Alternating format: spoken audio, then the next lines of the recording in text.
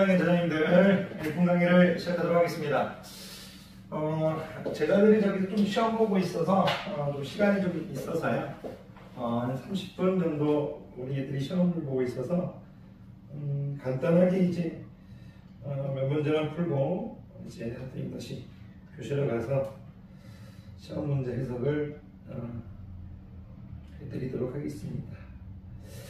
제가 지금 어디까지 했냐면 이제 91페이지 10번 할 거죠.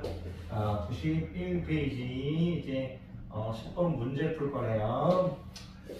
아, 어, 우리 선생님 페이지 진짜 이제는 막하네요, 막. 아유, 선생님이 어, 페이지라고 적어야 할지 생각하면서도 손이 막 따라 움직여요. 91페이지 10번 볼게요. 어, 10번은 이제 세 개의 점이 있는데 A라는 점이 마이너스 3,2라는 좌표로 주어졌고요. 이제 B라는 점이 이제 3,K라고 주어졌네. 어, 3,K라고 주어져 있고 C라는 점이 어, 2K 이제 K 플러스 1 이렇게 주어졌네요. 2K 어, K 플러스 1을 주어졌는데 어, 이 세 개의 점이 한 직선 위에 있어야 된대요. 뭐 순서는 지금 얘기하고 있지 않고 한 직선 위에 있도록 이런 얘기네요. 어쨌든 뭐 A가 이렇게 있든 B가 이렇게 있든 C가 이렇게 있든 A가 이렇게 있든 C가 이렇게 있든 B가 이렇게 있든 한 직선 위에 있다는 건 A와 C로 이제 기울기를 만들거나 B와 B로 기울기를 만들거나 이제 기울기가 다 똑같다는 얘기잖아요. 어. 한, 어, 세 점이 한 직선 위에 있다는 얘기는 기울기 이퀄 기울기로 푸라는 얘기예요. 기울기 이퀄 기울기로 풀다. 특별한 문제, 중학교 문제인데 왜 별표가 세 개 돼 있지? 어, 일단 그러면 합시다. A, B로 이제 기울기, I로 이제 기울기를 하나 구하겠고요. 그리고 뭐 I하고 뭐 I로 기울기를 하나 구하겠어요. 그러면 I하고 A로 기로 기울였을 때는 X 좌표끼리 빼준 건 6이고요. 어, Y 좌표끼리 빼준 건 K-1이에요. 그리고 얇게 준 거는 이제 2k-3이고요. 2k-3 이렇게 될 거고 얇게 빼준 건 이제 1 되겠네요. 그러면 이거 풀기만 하면 되는데 어, 모든 실수 k 값의 합을 구하라고 했네요. 그러면 뭐 k를 다 구할 필요가 없네요. 2k-3 이제 k-2 이렇게 되겠네. 대각선 했어요. 그러면 어, y를 전개하면 2k의 제곱 될 거고요. 어, 마이너스 4k, 마이너스 3k에서 마이너스 7k 될 거고 어, 플러스 6 이렇게 되겠네요. 어, 6, 6 없어져 버리네요. 그러면 0은 이제 2k 제곱 마이너스 7k인데 어, k를 다 구할 필요 없이 k 값의 합을 구하라고 했잖아요. 그럼 그 k, 어, k에 대한 2차 방정식으로 보고 근거의 배수량계 쓰면 마이너스 a분의 p니까 이런 식으로 되겠죠. 그러면 2분의 7 되겠네요. 어, 자, 이번에 침 맞네. 자, 11번 보도록 하겠습니다. 11번. 특별한 거 없고요. 어, 91페이지 10번은 이제 세 점이 한 직선 위에 있다고 하니까 기울기 이퀄 기울기로 풀어라. 어, 그렇게 받아들이시면 될 것 같습니다. 되겠습니다. 91페이지 11번 볼게요. 91페이지 세 번을 봤더니 그림이 하나 주어졌네요. 그림이 하나 주어지고 어려운 그림이 아니라서 그냥 간단히 그리면 이제 A 좌표가 1,5라고 주어졌고요. A 좌표가 1,5A를 지금 1,5로 어, 했어요. 그래놓고 이제 A예요. 이렇게 해놓고 B란 좌표를 마이너스 7, 마이너스 1로 했어요. B란 좌표를 좀 이렇게 놨네요. 마이너스 7, 이제 마이너스 1에서 B 좌표를 이렇게 했어요. 마이너스 7, 마이너스 1 이렇게 했고요. 어, 시작표를 2,2로 했네요. 시작표를 뭐 2,2 뭐 이렇게 했어요. 시작표를 뭐 2,2 해서 이렇게 시작표를 했는데 A를 일단 이런 식으로 지금 이은 삼각형을 하나 만들어줬네요. 이렇게 지금 삼각형을 하나 만들어줬어요. 그런데 삼각형 ABC가 점 A, A를 지나는 직선 LA에요. 두 부분으로 나누어진대요.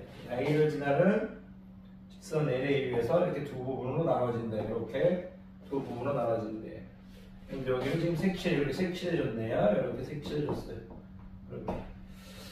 그런데, 어, 음, 색칠한 부분의 넓이가 S1이라고 했대. S1. S1이라고 했고, 출제자가 S는 3S1이라고 했네요. S는 이제 3S1이라고 이렇게 했어요.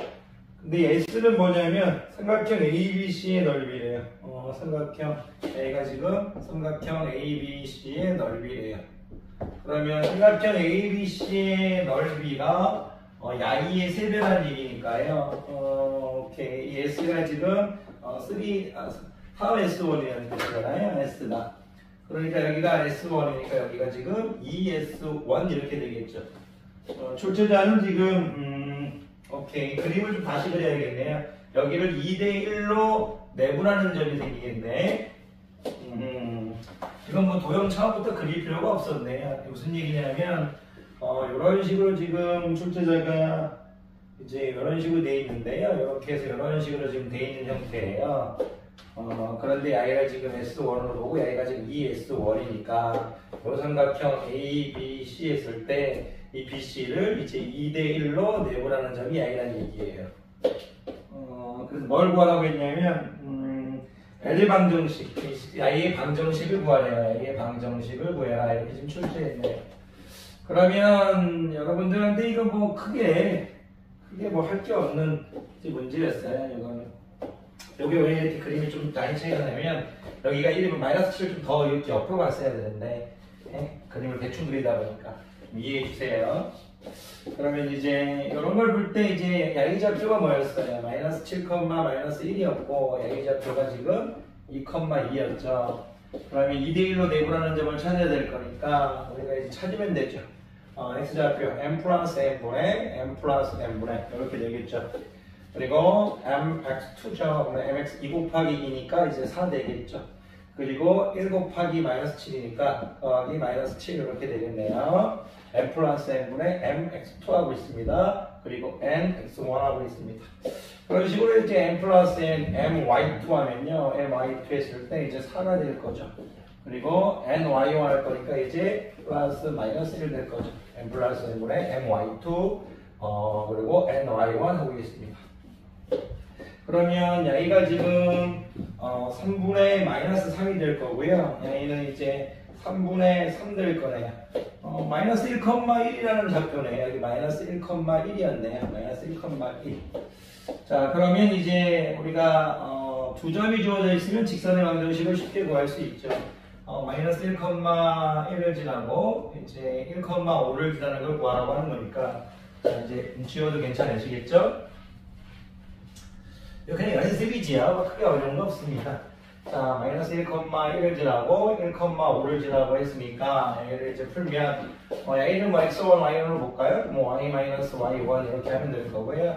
m x 마이너스 x1이니까 이렇게 되겠네. 어, y 마이너스 y1에서 마이너스 2, a를 m x 마이너스 x1인데 마이너스 1 플러스 1을 될 거죠. 기울기를 우리가 정리해 줄까요? 기울기는 이제 2분의 4에서 1 빼기 빼서 2가 되고 5 빼기 4에서 2가 되겠네요. 2. 그러면 y 마이너스 1에서 2x 플러스 1이니까 y 마이너스 1은 2x 플러스 2가 되겠네요. 그럼 y는 이제 2x 플러스 3 되겠네요. y는 2x 플러스 3 확인하고 있어요. 네, 맞았네요. 자, 볼게요. 12번 볼게요. 12번. 그냥 뭐 연습시키는 부분이지 굳이 좀 어렵게 느끼시는 학생이 있다면 중학교 2학년 때 어, 조금 이제 어, 조금 이제 방심해서 좀 까먹지 않았느냐.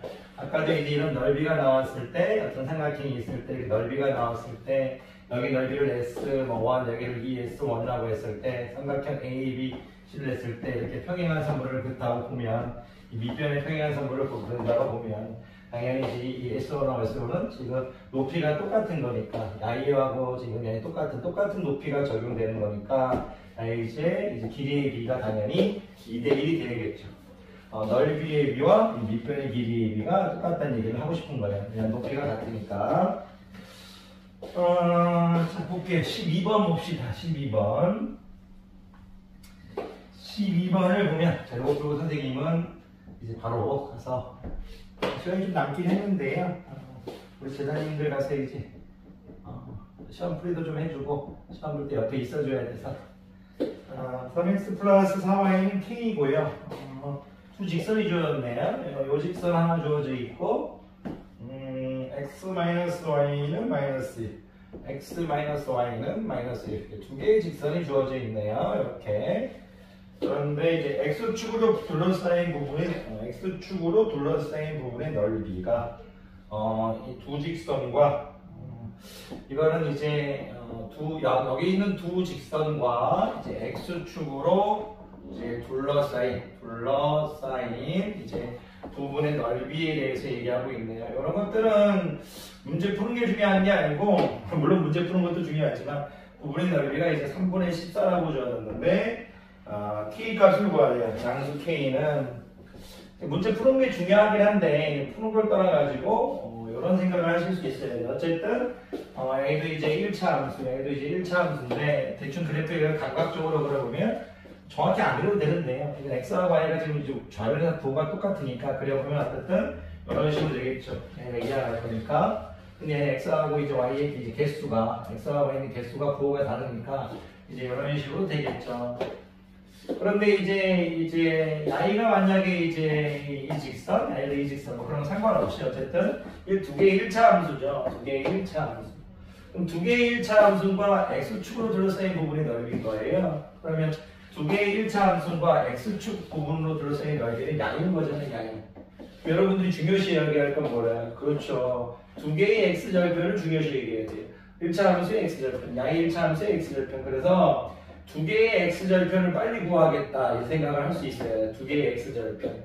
그리고 이제 어, 1차 함수의 교점인데 1차 함수의 교점인데 이 높이에 해당하는 이 어, 높이에 해당하는 y좌표가 중요하다. 1차 함수의 교점, 이 x좌표, y좌표 중에서 y좌표가 중요하다 이 생각을 해야 돼요. 그래프를 잘 그리고 모르고 떠나서 이 y좌표, x좌표가 중요한 게 아니라 넓이니까.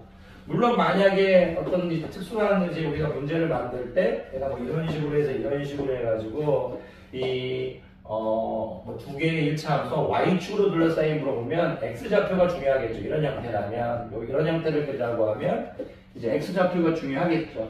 근데 이제 x축으로 둘러싸인 부분의 넓이니까 교점의 y좌표가 중요하다. 이런 세팅이 돼 있어야 돼요. 이런 세팅이 좀 돼 있는 학생들이 편하게 풀죠. 답을 구하는 거에 집착하다 보면 매번 같은 문제를 풀 때 오래 걸립니다. 그러면 여러분들이 이거를 어떻게 해줄 거냐? 야이의 x절편, 야이의 y절편 여러 가지 구하는 방법이 있지만 가장 여기서는 중학교 방법이 가장 편하죠. y에 0 대입해 버리면 y에 0 대입해 버리면 3x는 k니까 x는 3분의 k가 x절편인 거고 y에 0을 대버리면 x는 마이너스 1 이렇게 되는 거죠.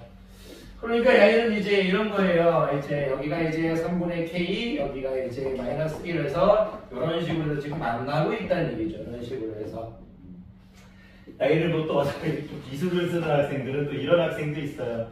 좀 수학 좀 배우셨다고 해서 양변을 이제 k로 나눈 다음에 뭐 이제 k분의 이제 3x 플러스 뭐 k분의 뭐 4y는 1 이렇게 해주고 여기도 이제 3분의 1, 여기서 3분의 1 이렇게 해서 여기를 뭐 3분의 k 이렇게 해서 여기는 이제 뭐 4분의 k 이렇게 해서 x 절편은 이제 3분의 k다 이렇게 하시는 분도 있어요. 우리가 이런 거 배웠었잖아요. ax 플러스 b분의 y는 1 형태에서 x 거니까 근데 이렇게까지 이렇게 하실 필요는 없어요 여기서는. 그러면 이렇게 이제 해주시면 될 거고 교점 구하기가 참 좋죠. 왜 교점기가 좋냐면 양수 k 값을 구하라고 했는데 이 교점이 참 좋아요. 왜 그러냐면 여기서 바로 할 수 있게 출제자가 3만 곱하면 3x 어, 마이너스 3y 이제 마이너스 3 이렇게 되게 출제를 해준 거예요. 그럼 빼버리면 이제 빼버리면 어떻게 될 거냐면 없어져 버릴 거고 이제 4y 플러스 3 이렇게 되나요? 4y 플러스 3.